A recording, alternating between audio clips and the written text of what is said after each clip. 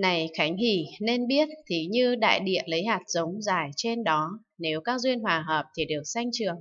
Nên biết đại địa đối với hạt giống sanh trưởng là chỗ nương tựa, là nơi có thể phát triển. Như vậy, bát nhã ba la mật đa và nơi hồi hướng trí nhất thiết trí đối với bố thí tịnh giới an nhẫn tinh tấn tịnh lợi bát nhã ba la mật đa là chỗ nương tựa, là nơi có thể phát triển khiến được sanh trưởng. Nên bát nhã ba la mật đa này đối với bố thí cho đến tịnh lự, bát nhã ba la mật đa kia là pháp tôn quý, là pháp hướng dẫn. Cho nên ta chỉ xưng tán rộng rãi bát nhã ba la mật đa. Này Khánh Hỷ nên biết thí như đại địa lấy hạt giống giải trên đó, nếu các duyên hòa hợp thì được sanh trưởng. Nên biết đại địa đối với hạt giống sanh trưởng là chỗ nương tựa, là nơi có thể phát triển. Như vậy bát nhã ba la mật đa và nơi hồi hướng trí nhất thiết trí đối với pháp không nội, pháp không ngoại, pháp không nội ngoại, pháp không không, pháp không lớn, pháp không thắng nghĩa, pháp không hữu vi, pháp không vô vi, pháp không rốt giáo, pháp không không biên giới, pháp không tản mạn, pháp không không đổi khác, Pháp không bản tánh, Pháp không tự tướng, Pháp không cộng tướng, Pháp không tất cả Pháp, Pháp không chẳng thể nắm bắt được, Pháp không không tánh, Pháp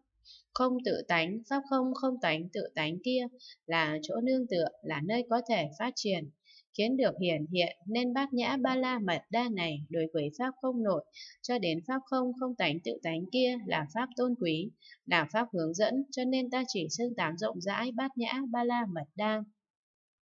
Này Khánh Hỷ nên biết thí như đại địa lấy hạt giống giải trên đó, nếu các duyên hòa hợp thì được sanh trưởng, nên biết đại địa đối với hạt giống sanh trưởng là chỗ nương tựa, là nơi có thể phát triển. Như vậy, bát nhã ba la mật đa và nơi hồi hướng trí nhất thiết trí đối với chân như pháp giới, pháp tánh, tánh chẳng hư vọng, tánh chẳng đổi khác, tánh bình đẳng, tánh ly sanh, định pháp, trụ pháp, thật tế, cảnh giới hư không, cảnh giới bất tư nghỉ kia là chỗ nương tựa, là nơi có thể phát triển, kiến được hiển hiện.